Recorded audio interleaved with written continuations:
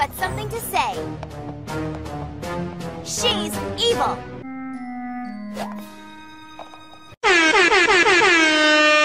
I know better than to strike alone. I need friends. Sorry, Dash. Autograph session's over.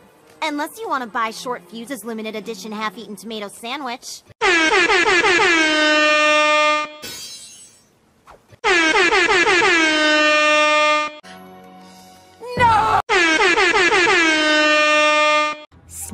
Sneaking? It looks to me like the only one sneaking around is you, Garble. And I don't want to join your silly little troop.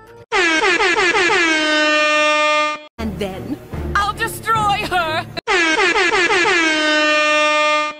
Wow, so you're both losers. Now, how shall I eliminate all this clutter in my throne room? As if anything on this mountain is scarier than I.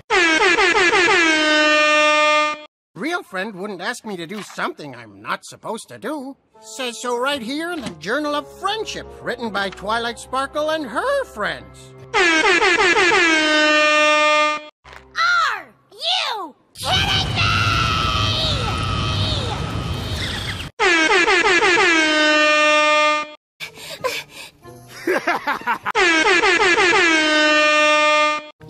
Make it to the top either.